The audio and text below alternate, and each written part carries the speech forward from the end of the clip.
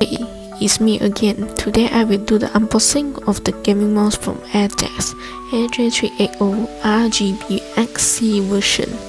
It has 9 buttons. The DPI which is known as dot per inch for this gaming mouse is from 250 until 4000. This gaming mouse is programmable. Its setting can be customized by using the mouse driver. Later I will show you how to use it. Match with the red color mouse mat. This mouse mat is metal based and has smooth surface.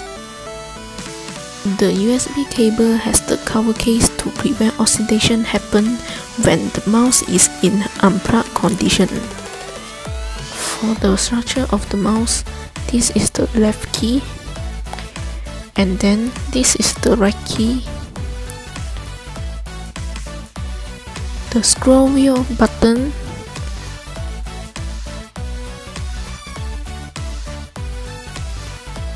DPI increase button. And the DPI decrease button this is the forward key and this is the bevel key. This button is the DPI locking one. Last, there is a red button at the bottom.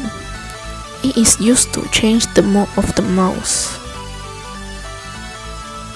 The mode of the mouse will indicate as different light color at the scroll wheel button for red color is office mode, green color is MOBA mode, and blue color is FPS mode.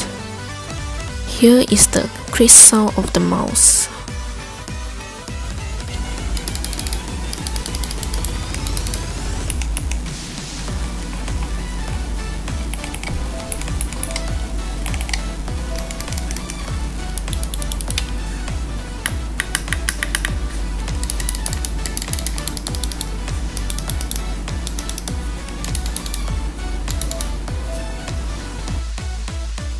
This is the driver. It can be downloaded in the official website of AJAZZ.